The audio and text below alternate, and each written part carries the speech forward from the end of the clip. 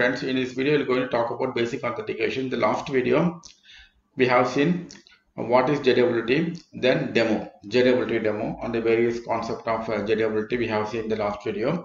I was planning to uh, explain code walkthrough in this video, but uh, I wanted to explain basic authentication before going to uh, JWT code walkthrough. The reason is if you understand basic authentication, uh, definitely you can understand very easily how to implement JWT. Okay, using J using basic authentication, we, we can implement authorization very easily. It's a very simple authentication. Okay, um, in the Postman, we can send the username password in this format. The JWT, sorry, in the basic authentication, we have to send the credential in this format. Okay, when you send like this, what will happen? Uh, our Postman will going to encrypt this information in this format. Encrypt this information in this format. Okay um, automatically postman does like this. Okay let's say for example uh, i'll show you the demo for that. And this is the example uh, code. I'm going to start the application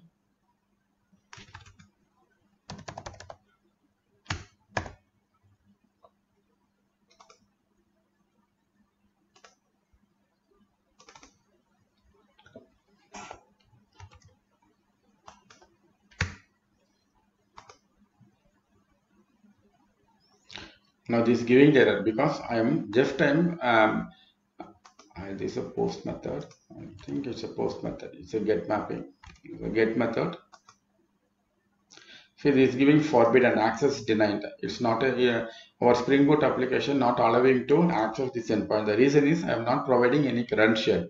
Okay this is um, um, basic authentication application. I have started the server. This server running under 8080 I am saying HTTP localhost 8080. Now I am trying to access this user, this particular endpoint. See, this endpoint I have not implemented. Uh, sorry, this endpoint I have not mentioned any mapping. Just empty parameter. Uh, just uh, leave it as a empty get mapping. That means I can access this particular URL using HTTP colon localhost 8080 that's enough. If you if you say like this automatically this particular method should call. That is expectation. But when i do that but it's i'm not able to access because this application um uh, secured using basic authentication. That's the reason we're not able to access. In order to access we need to uh, provide proper username and password. The, the username and the password is um, we have to set here this is a basic auth. In the case of basic auth, we have to say in the, in the author, click the authorization tab. In the authorization tab, there are many type of authorization. I'll go into select basic auth. In the, once you select the basic auth, it asks the username and the password. User is a Suresh, password is a Suresh. Uh, I configured this Spring Boot application username Suresh and the password as a Suresh. Okay, so I'm entering here Suresh and Suresh. And then go to body. This is the URL I want access now see now it's giving. This is a simple user controller. This is a simple user controller. When I look at this endpoint I mean I am returning the same string here. This is simple user controller. So if you want to um, test in postman what you have to do go to authorization select the basic auth then enter user and the username and the password in the body section you have to uh, give some request if you have. This is the get mapping so we don't have any request body. Uh, just select get and pass the correct url then send. If you if you click if, if you enter proper username and password the response will come from the server. Otherwise it will give forbidden error. Okay forbidden error. So this this is what i am going to show how i implemented uh, this authorization in our Spring Boot application.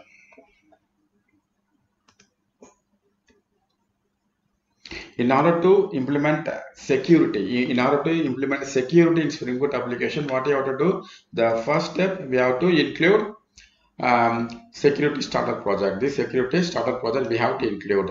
Okay. Then second step is we have to create a one configuration class. We have to create a one configuration class that configuration class must extend from web security configure adapter. Uh, it must extend from web security configure adapter. This class must annotated with enable web security. Annotated with enable web security. When you look at this inside the annotation, you can see here at configuration. This annotation uses at configuration. That's the reason this particular class act as a configuration file configuration file. That meaning whenever we start the application spring boot read this java file for setting up the configuration whatever i defined here. Okay.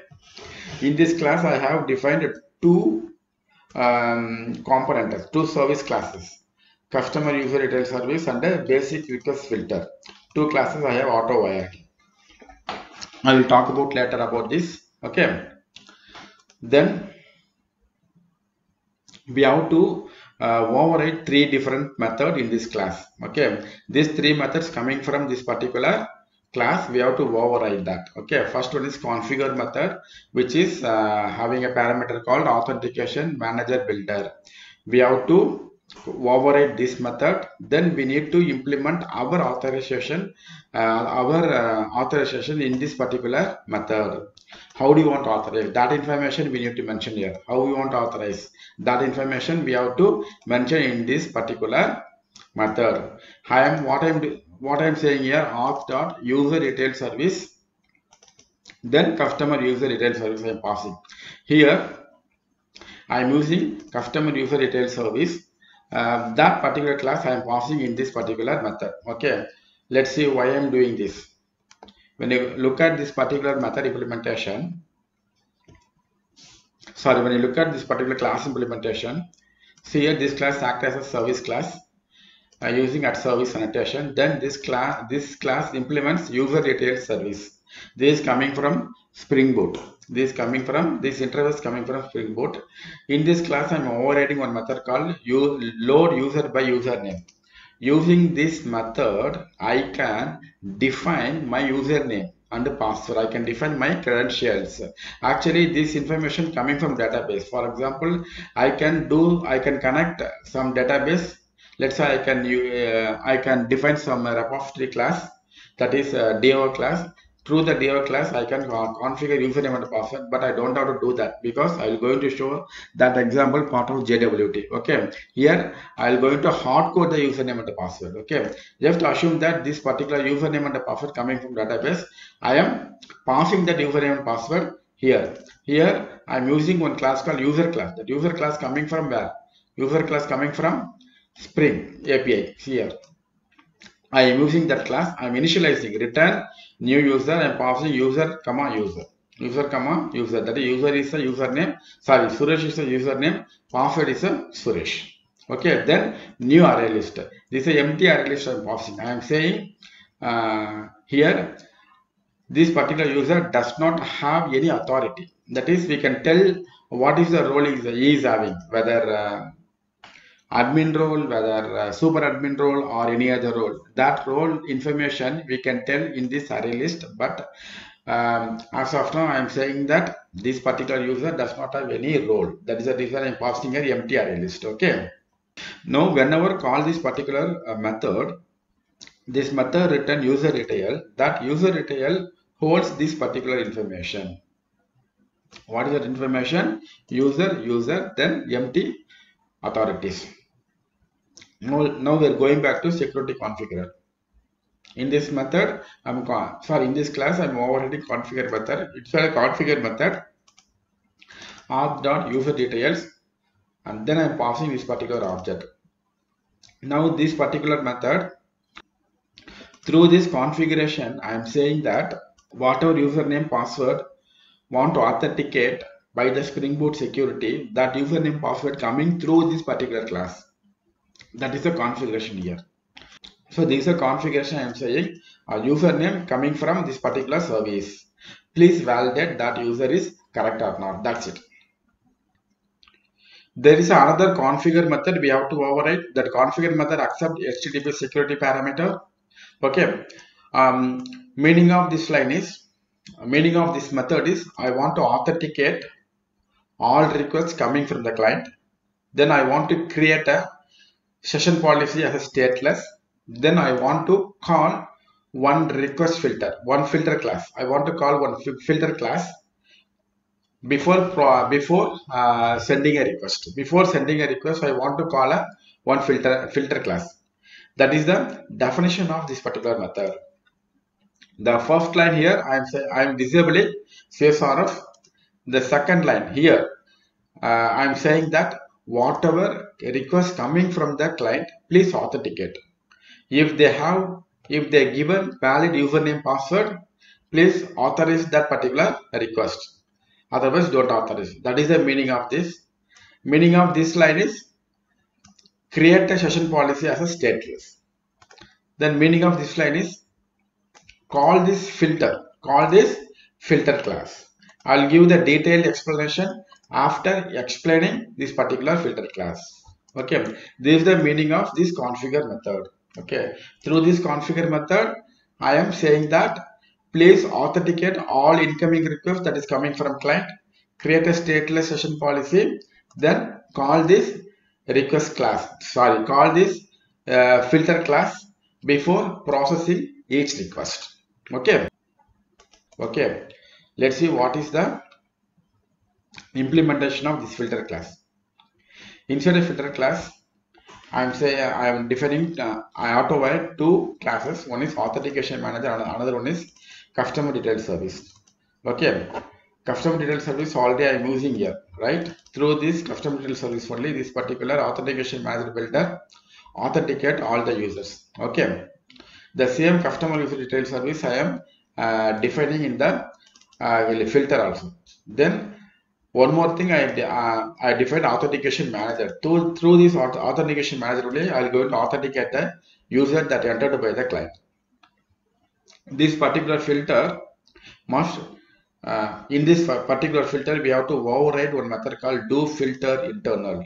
Do filter internal this method uh, coming from this particular filter class once per request filter this is coming from spring um, security we have to extend this particular um, filter class okay then only this basic request filter act as a filter class okay Hmm? Now we are, I am going to overriding um, do filter internal filter method coming from this particular filter class.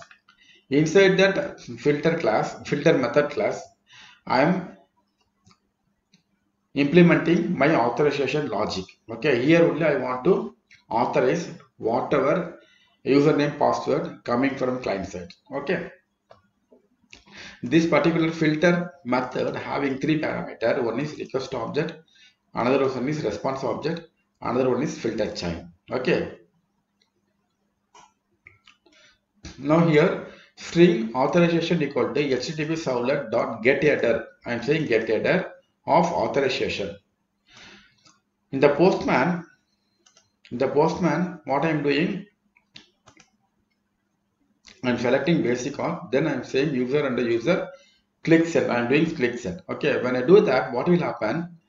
The postman, what will do? It will set this username password in the header, in the header section of the particular endpoint, particular request, automatically that done by this postman. Okay. I'll go to remove this. We don't have this is uh, some other uh, this JWT related uh, authorization. We don't have to use that. Okay.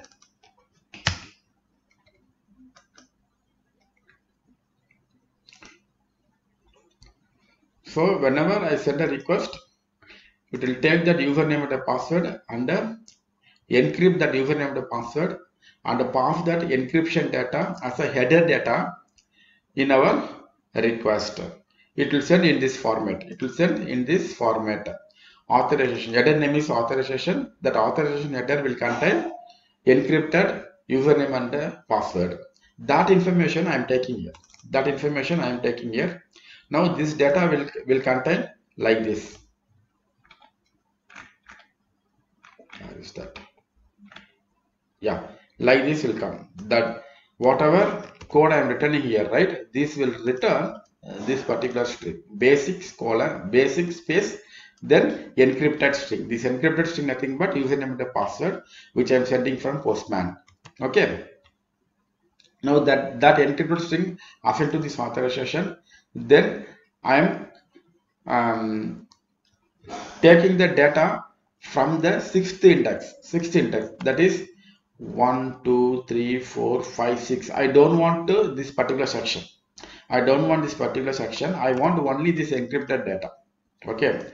Um, um, that data I am taking by using substring of 6 this particular portion will assign to this particular portion will assign to this authorization string value. Then I am decoding these encrypt, encrypted value right? I want to decode. Um, so that I am using one class called base64 utils.decode of this particular data okay. In the decode uh, method I want to pass byte information. Byte information then only it will decode. Why? here authorization dot get bytes. Authorization dot get bytes nothing but get bytes a method coming from string class that get bytes return whatever byte information having this particular string value. That byte information I am taking and passing that byte data inside the decode method. Now the decode method decode that data under under return that is a readable credential. That return as a readable credential. That is it will going to return like this. Suresh colon Suresh. Okay. Now that Suresh colon Suresh I am um, taking separate separately using split method. Authorization str split of colon of zero nothing but this this particular section. I'm assigning to username again authorization safety are split of colon I am saying one year. That meaning this particular section I'm assigning to year. So now we're going to now I take an now I take a username and the password from the client side. Now I want to authorize that right? I am passing that authorize I am passing this username and the password in this particular API what is this API here I declared authentication manager. This authentication manager having a method called authenticate authenticate method. In that authenticate method we have to pass username to password in the form in the form of username password authentication token constructor. Okay? In the form of username password authentication token class. We have to pass the credential in the form of username password authentication token. In this username password authentication token i am passing this username and the password. This particular object i am passing inside a authenticate method now this authenticate method validate whatever username and the password uh, we are uh, sending from the postman. If it is correct or not it will going to validate. How it will validate? Whenever you say like this what will happen? Spring boot automatically take this class. Spring boot automatically take this class. Because i uh, i am saying in the configuration please use this class to load the user please take this class load the user and validate that user. Validate that user against whatever username we have entered here. Now this particular authenticate method um, take that username password which is uh, using customer detail. That customer detail return username and password. That username and password validating against this username and password. This both are same this both are same. It will come to this particular section. This part. Otherwise it will go to this exception. What is the exception? Bad credential exception. What is the exception? Bad credential exception. Whenever we authenticate username password against entered by the client if this is valid it will come to this particular line to execute. Otherwise come here it will return exception. If it is valid it will come here i am manually calling this custom detail service load by username load by username yeah. since i'm hard coded here i don't have to enter any parameter value okay whenever i call this this return user detail right so I'm doing that only here. I Just I'm calling load user by username that return user detail. After loading, after loading this user detail, I am passing again this user detail inside a constructor. Yeah, inside a constructor of username password authentication token. Uh, token. Okay, I'm passing user details, then passing as a credential null because everything having here user detail, then credential as a null, then I'm passing authorities. Uh, as I mentioned previously I don't passing any authorities, empty authorities. Okay. I am passing here user details for the get authority that will return empty, empty array list only. Okay. Now this particular object holding this user detail. Then I am setting this user detail in my Spring security context. Um, meaning of this line is I am setting this user detail inside a Spring security context. That meaning use of this particular line is let's say I want to access this particular endpoint by providing username and password. Whenever you uh, access this endpoint, what will happen? This particular method invoke, right? And while invoking, I want to see currently logged in username, currently logged in user detail. I want to retrieve. In such a case, you can get that user information from the Spring security context. Okay, Spring security context. If you want to get the user information from the Spring security context, we have to set like this. We have to set like this. Okay. The authentication process completed here itself. One authentication completed, successfully completed. This coding, this coding part executing. Using this coding, what I am doing, I am setting this user detail in the Spring Security context. Purpose of setting user detail in Spring Security is we can retrieve that user information, your REST endpoint method. I hope you understand basic authentication. This is the basic authentication. This is very simple implementation, right? I hope you understand this um, uh, security uh, mechanism that is a basic authentication. Basic authentication nothing but just sending the username and the password and validating that username and the password in our Spring Boot application. That's it. Okay. I have missed some information while explaining this code. Um, in the security filter, right? The security filter I'm using authentication manager. Using this authentication manager, I'm authenticating here. Using this authentication manager, we are authenticating the user. Whatever username password entered by the uh, client, that username and the password we are authentication.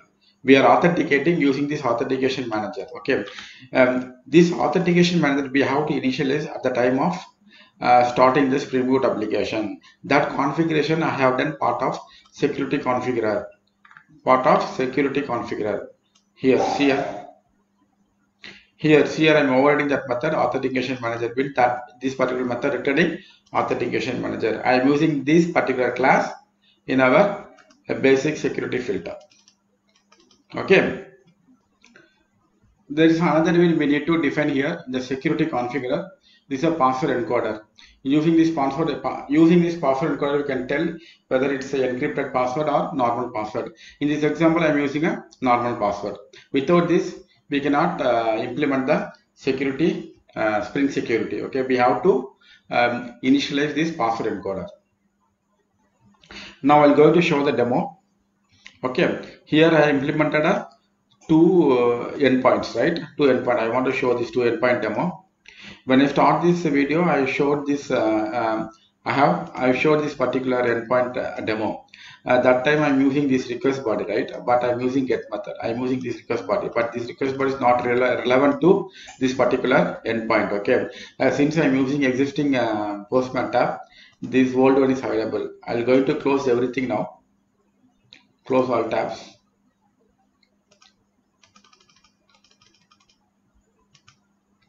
Okay, I'm creating new one. Going to say localhost 8080 slash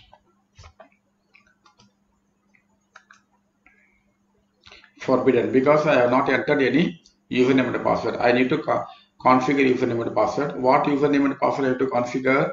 Uh, um, inside a customer details. When you look at the customer detail, I'm hard coding this user this uh, username and password.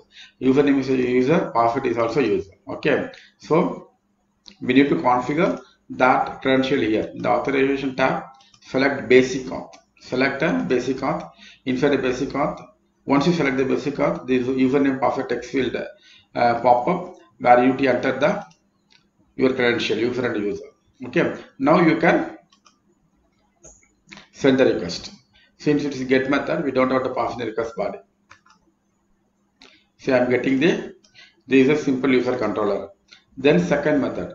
Second endpoint. What is the second endpoint? Second endpoint is get mapping auth context here I, what i am saying is i am taking currently logged in user details. Uh, when i explain about this particular um, authentication mechanism. In the last line i am saying security context holder get context set authentication equal to username password authentication token. That meaning i am setting user detail in security context right? If you set setting security context if you set user detail in the security context you can take that user information anywhere in your rest method endpoint okay? If you set like this you can access your user detail in your rest method implementation rest method if you set like that you can access currently logged in user in your rest method okay? That's what i am doing here okay? Whenever call this endpoint i am saying here security context holder get context get authentication dot get principal. Get principal meaning it return the currently logged in user detail in the form of object in the form of object that object class we need to convert as a user detail then assigning to detail class. Assigning to detail object. Then here i am saying return new response entity. The current logged in user is user details dot get username. That meaning it will print currently logged in username. Okay. Now we're going to see the demo now. What is the endpoint? Get auth context. See the current logged in user is suresh. Okay so because i'm passing as suresh i hope you understand what is the basic authentication. One more thing i want to show. Where is that uh, filter class? I'm going to put um, debug point here. I'm going to start the server in debug mode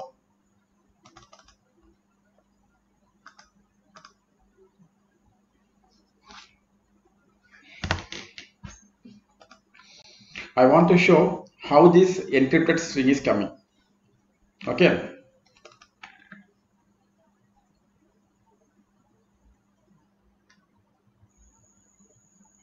Started the server. I put the breakpoint here. Now I'm going to send a request. Now from authorization header, I'm taking this data here basic space some encrypted values coming. These encrypted values equivalent to Suresh colon Suresh. Okay. Hmm. Uh, when you pass basic, uh, when you use basic authentication in a Postman, it will automatically encrypt that username and the password and set that username password in the header section. Name that header as a authorization. That's the reason I am saying here. Um, that's the reason I am accessing the header value using authorization. Now this, now this header having the encrypted uh, username and password. Okay encrypted username and password with the prefix of basics. That basics donate that this is a basic authentication. Okay this is done by automatically from the client side. That is postman.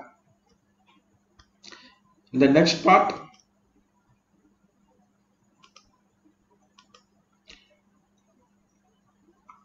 I am taking only encrypted data here.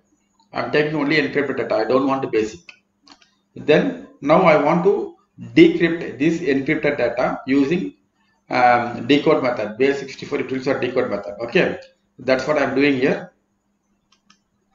Now you can see here Suresh colon Suresh. Now you can see here Suresh colon Suresh. Whatever value I'm passing from? Postman. Okay.